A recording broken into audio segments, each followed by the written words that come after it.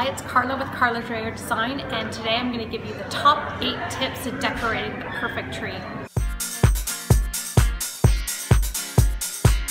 So tip number one is to choose a theme, and I can't believe I'm actually saying this because the thought of a theme tree is not my usual style, but when I say theme, there's a few questions you should ask yourself. What do you want to feel when you see the tree? Do you want a colorful tree? Do you want a tree that's more kid friendly? Do you want a tree that has bling? So choose your theme and that will help you narrow down the decorations you're gonna choose. Tip number two is once you've chosen your theme, take inventory of what you already have. So pull out that bin of decorations, go through it and set aside the ones that would go with the theme from the questions you asked for number one. This will completely help you and to my surprise when I did that I had a lot more that fit into my theme than I thought I did. Tip number three, so you've chosen your theme, you've gone through your current decorations, now is time to go shopping. And when you're going shopping, you're knowing what fillers to add. When I say fillers, get decorations that are gonna be that last bit of addition. In this case, what I did is got these branches here, white spray painted branches. I bought them this way, but you could just get branches out of your backyard, spray paint them, and they were great at adding at the end for fillers. So tip number four, and I haven't even started talking about the decorating yet, so now is to start decorating. And the first tip when you decorate, let's put the tree topper on first. The reason you want to put the tree topper on first is if you put it on last, you might actually climb up there and ruin all the decorations you've put on. I also want to challenge you to think of your tree topper as something that's unique, something that's different. In this case, we did an owl. It could be a larger ornament. It could be something that's actually non-traditional and not Christmas-like at all. So put your tree topper on first. Tip number five, and this is the first time I've done this, and some of you may totally disagree with me, but I'm gonna say skip the garland.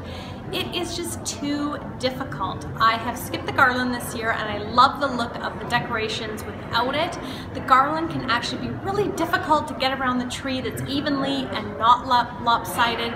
So I say this year, just skip it and go with a complete tree of decorations. So tip number six, we're actually gonna start decorating the tree and I'm gonna say start with eight to 10 of your showstopper decorations. And I'm gonna show you what I mean by that.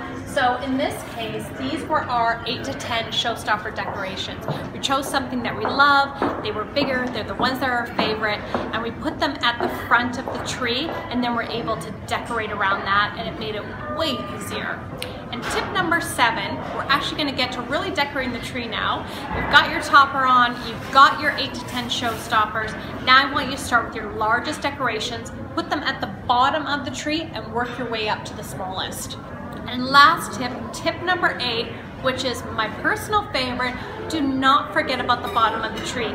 Here's where you can have a ton of fun. What I suggest is put sheepskins on the bottom. In this tree, what I did was add a small sled with some gifts. I added a marquee uh, reindeer that lit up. This is a place where you can really decorate, add personality. Think baskets, think woven textures. It's a really fun place and a lot of times we forget about the bottom of our tree as a decorating spot. So decorate there and have fun. So I hope these tips have helped in decorating your Christmas tree. If you liked this video, please like it. And please leave me a comment below of some of your favorite decorating tricks. I'd love to hear about them. Also subscribe to my YouTube channel as I do post new videos every Thursday. Also for this video, I created something super special. I created you a checklist of tree decorating tips and I'll leave the link below. Thanks for, so much for watching and I'll see you next week.